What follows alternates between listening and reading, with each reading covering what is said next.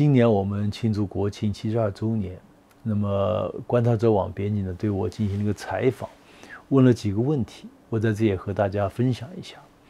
他们首先问的问题如何理解党中央最近提出的在高质量发展下促进共同富裕？我是这样回答的：我说，这个改革开放之初，也四十多年前的时候，为了克服平均主义，为了加速中国现代化的事业，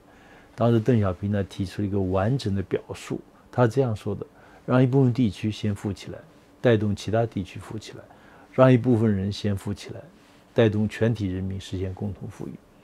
那么今天回头看，应该说，第一一部分地区先富起来，带动其他地区富裕起来，我们基本做到了。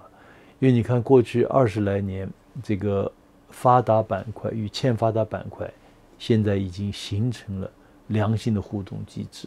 过去二十来年，整个中西部地区的发展速度都比沿海地区要快。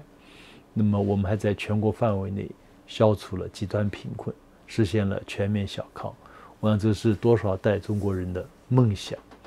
但在实现共同富裕方面，我们还在探索。现在还没有做到最理想的状态。那不久前召开的中央财经委员会第十次会议提出，要坚持以人民为中心的发展思想，在高质量发展中促进共同富裕，构建初次分配、再分配、三次分配、协调配套的基础性制度安排，使全体人民朝着共同富裕目标扎实的迈进。刚才提到这个就是初次分配、再分配、二次分配，有时也叫一次分配、二次分配、三次分配。那么长期以来一直有这么一个说法，就是初次分配也一次分配是效率原则，也就是它靠市场；那么第二次分配或者再次分配是公平原则，靠法律。那么主要通过税收啊，通过建立社会保障设施啊等等。第三次分配呢，主要是靠道德、靠自愿捐款等公益事业。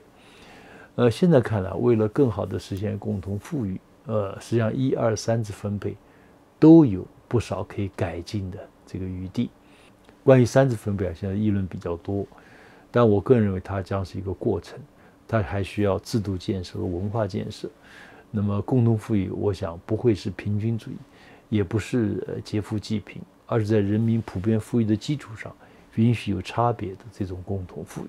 而且呢，共同富裕这个概念不只是一个经济概念，它涉及其他方面，涉及政治民主、文化繁荣、社会道德、生态文明、公益慈善等许多方面。那么今年六月的时候，呃，党中央决定选择浙江省来建设我国首个高质量发展、建设共同富裕的示范区。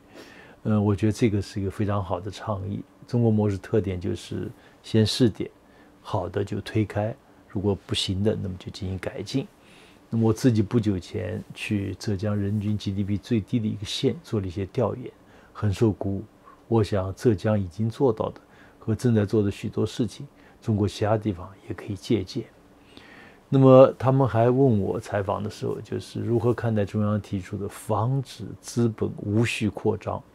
我说中央提出的问题是非常及时的，因为我们现在都看到资本力量。在一些领域内的无序扩张，比方说互联网金融的乱象，义务教育领域内的资本的渗透，房地产的盲目扩张，资本对娱乐圈的操弄等等。那么我自己长期研究中国模式，中国模式特点之一就是政治力量、社会力量、资本力量能够形成一种有利于绝大多数人的这个平衡，这和美国资本力量独大。可以左右政治力量、左右社会力量，形成了鲜明的对比。也就我经常讲的，最富的一百个中国人是不可能左右中共中央政治局的决策的，而最富的五十个美国人可以左右白宫的决策。发挥资本力量在推动生产力发展中的积极作用，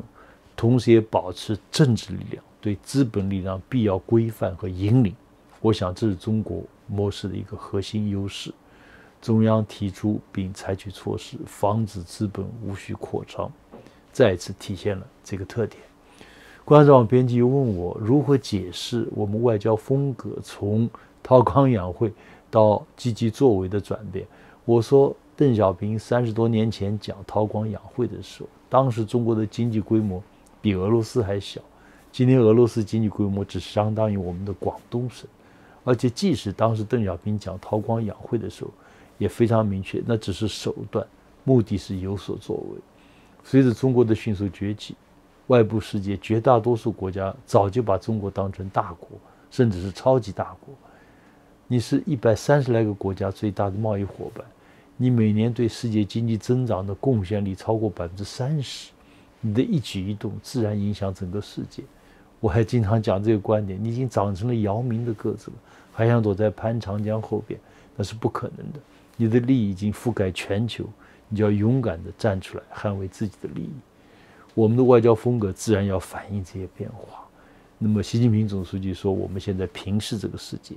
杨洁篪主任也说：“美国没有资格从实力地位出发与中国谈话。”我想都说明了这一点。好，今天就和大家聊这些，谢谢大家。